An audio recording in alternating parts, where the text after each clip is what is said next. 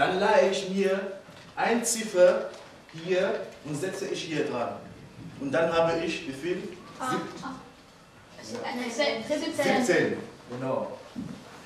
Nehme ich mir 1 da, setze ich hier, dann habe ich 17. 17 minus 8,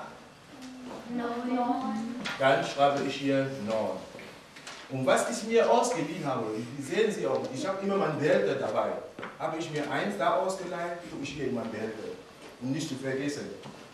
Die Seite ist fertig. Nächste Seite.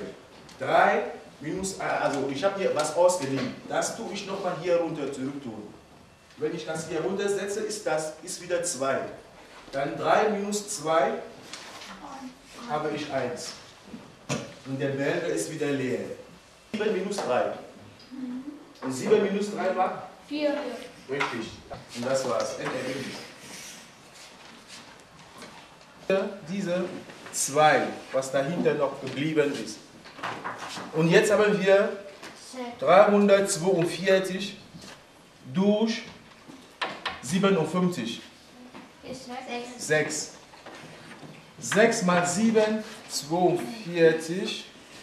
Es bleibt 4, was wir im Behälter machen.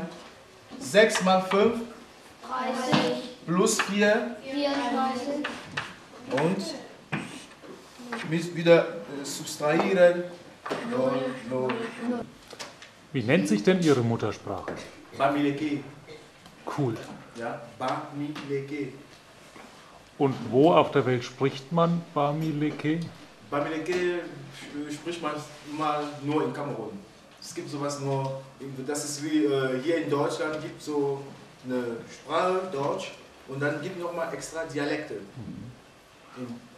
und Bamileke ist so Dialekte von Kamerun. Gut. Und Das wie ist, eine Dialekte. Die Hauptsprache ist Französisch und Englisch.